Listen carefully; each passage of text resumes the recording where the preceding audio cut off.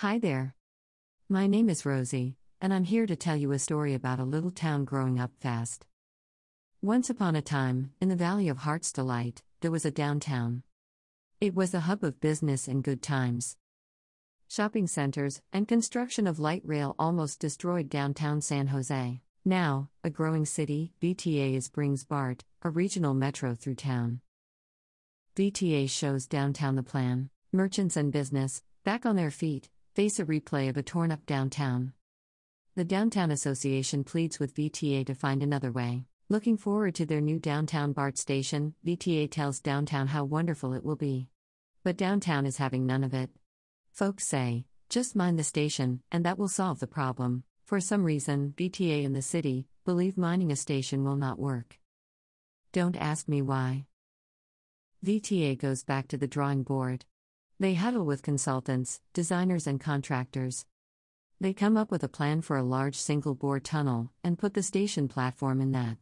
Downtown is given two choices dig up downtown, or it's a big deep tunnel. People ask, why can't you do what many cities do? Use the twin bore and just mine the stations. Surely that is possible, not in San Jose. Not in these wet, complex, and unstable soils not with wires, pipes, and stuff underground. There are no new technologies for doing that here in San Jose. They say instead of two tunnels, we'll do just one. We'll save a tunnel and save downtown? Right. What VTA did not expect was a leading firm giving them a proposal to design and build twin bore tunnels, tracks, and stations for less than they told the FTA it would cost. Not $10 million less.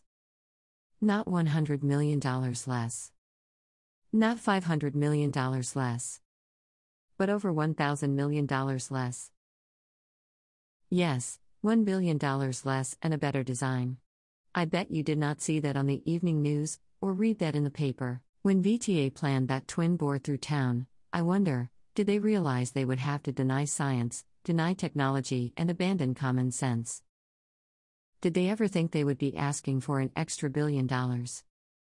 Or wasting a billion dollars that could be spent providing efficient, equitable, county-wide transportation?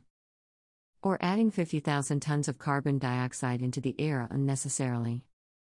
Or how this would affect public trust. The large single bore will require more ventilation and safe escape features than the twin bore. It also means the VTA board of directors is quite okay with telling downtown, the university, City Hall, the library, and neighborhoods south of Santa Clara Street, no BART access for you. This also means VTA will have to try to squeeze large bore under Coyote Creek and Highway 101 with enough soil above the tunnel crown to make sure it's safe, which is, is a real concern. And VTA will have to solve these and other concerns without the delays and cost overruns of the BART Phase 1 project. After learning what you've seen here, does it cause you wonder what drives their decision making process? Or who it is working for? Or who benefits from the extra $1 billion? Follow the money. Ask yourself where it goes. Who the checks will be made out to. Maybe that will tell you who is driving the design.